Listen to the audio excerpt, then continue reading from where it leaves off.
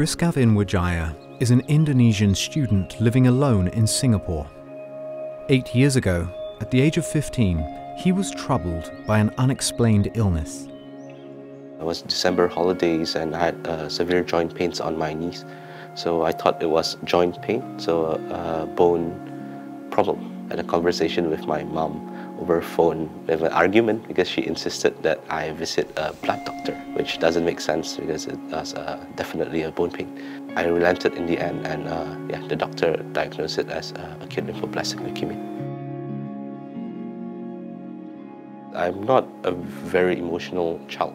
I, I don't express my emotional as much, but for my parents it was utter disbelief. They were crying very often and like a lot of blame as well, like why does it have to be uh, my child? Allen Yeoh is Chris's attending physician, specializing in childhood cancers. Prof. Yeoh is a clinician scientist performing twin roles, cancer treatment and research of such illnesses. We know he has bad cancer. We treated him, his response was poor.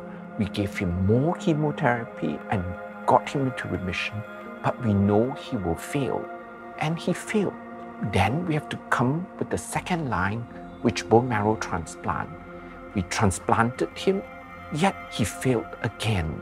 We reinfused cells from his brother to try to fight the cancer, but we failed again. A revolutionary technique is the patient's last hope.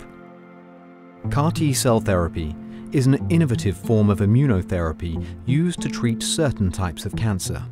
It involves modifying a patient's own T cells to help them fight cancer more effectively.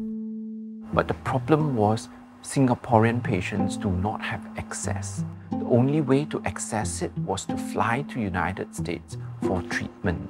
Now, it cost about 1.5 million to receive CAR T treatment in United States family has to uproot, stay for six months to one year for that treatment.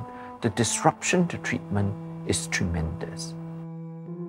It hurt me a lot that every child that I diagnose with cancer, I have to write a letter to refer them because we don't have the ability to cure like they could, right? I wanted to change that.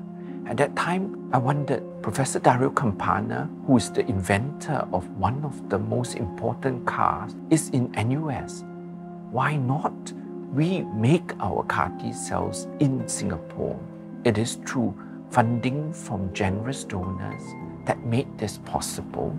We put in together funding, built the GMP in NUS, and started making CAR T cells for our patients.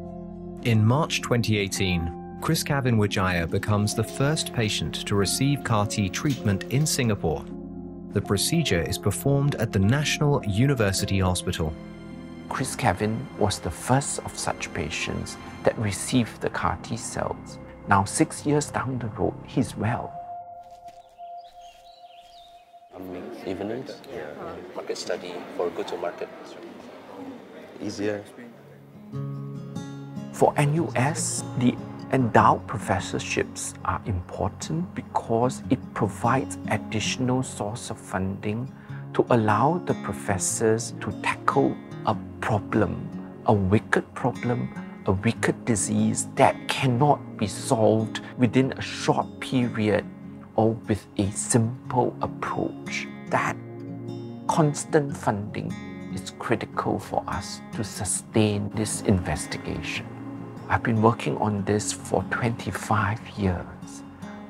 Whole of my career is looking at one problem of blood cancer.